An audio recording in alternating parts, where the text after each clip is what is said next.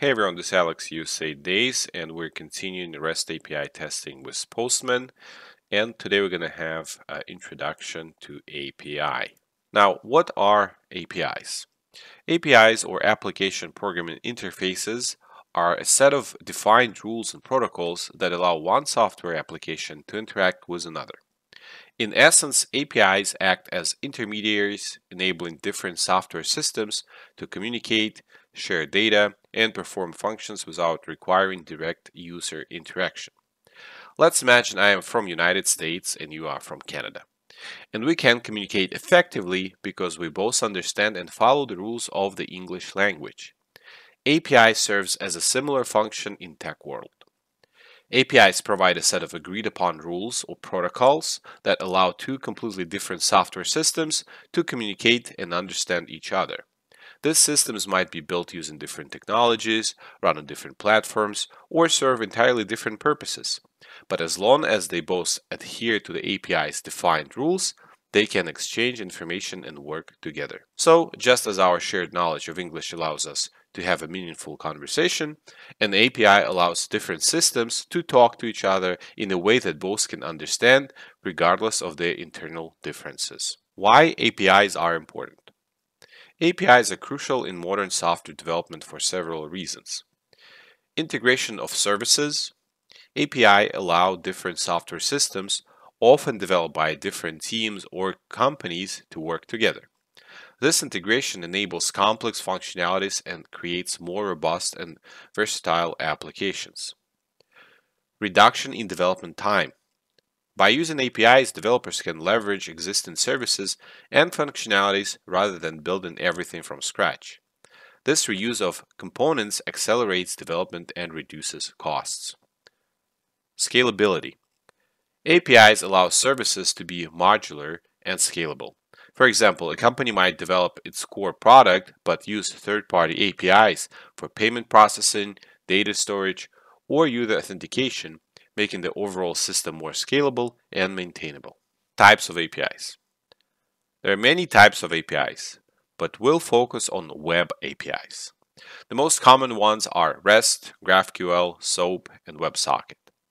REST is the most popular, used by around 80% of web APIs.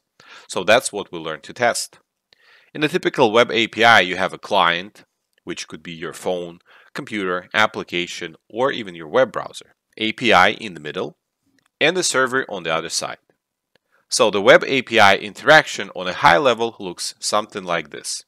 You have a client, it sends an API request, the request goes to the server, server processes the request and then sends the API response back to your client and your client processes it and then you have some information displayed on your application. So let's have a quick example of API interaction in real life.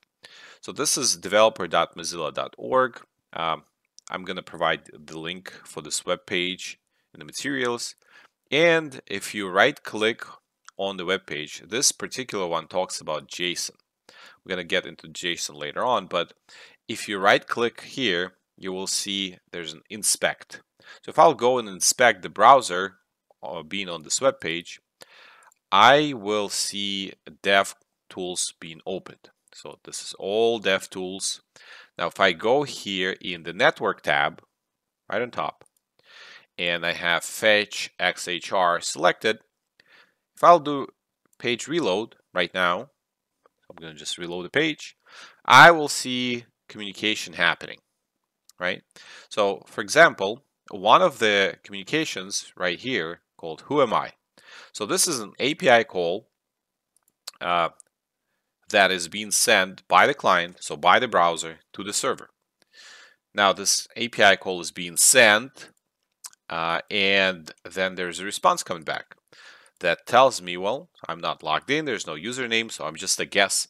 But uh, it did uh, read my location, United States, and it responded with my location.